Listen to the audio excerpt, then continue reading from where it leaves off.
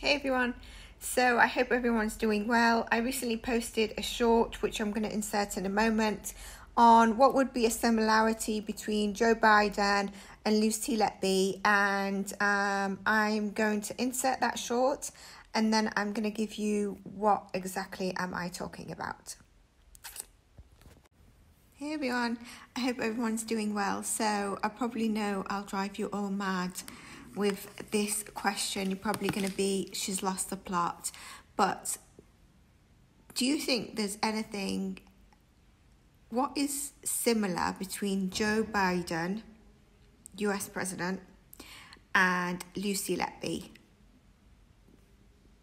Would you be able to guess that? Also, keep voting on the interlude for Maddie. Answer that question if you wish to, on how you would actually answer that question and I'm going to do the interlude part two where I share and also pose another question for us to look at and then obviously the part nine that I need to get to um, on my community page as well. So remember for purposes of, of the names, this is for entertainment purposes only, although my response is as a healer is legit, okay?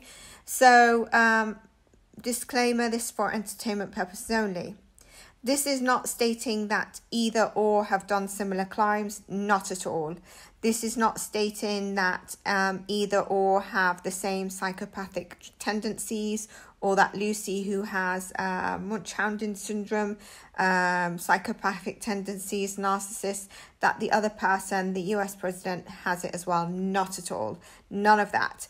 This is about energy gaps, energy aura, and um, where there's gaps in someone's energy and aura that as a healer I can tell. And believe it or not, this just comes from one photo I saw in passing of Joe Biden who who'd got off a plane, landed in a country. It's, it's probably six months to a year ago. I don't watch news. I didn't even think anything of it. But then when I had looked at some of the thumbnails I get in terms of Lucy Letby, and I looked at a six minute kind of intro from a crime documentary channel, I knew directly. And what then came to me was people when I uh, can usually tell. Now, this happens to us all. We can get energy gaps, energy in our aura, and I can go into a bit more details on that both could have done with some energy clearing or could do with energy definitely do with energy clearing and energy unblocking energy healing for those reasons. So that was the answer. You probably thought what is happening here?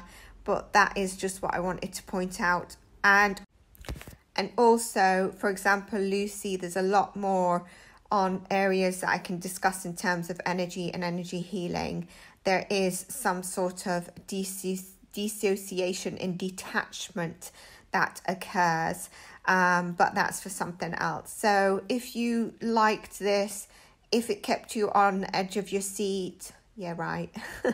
um, let me know in the comments, and I'll see you in our next one. Take care and bye for now.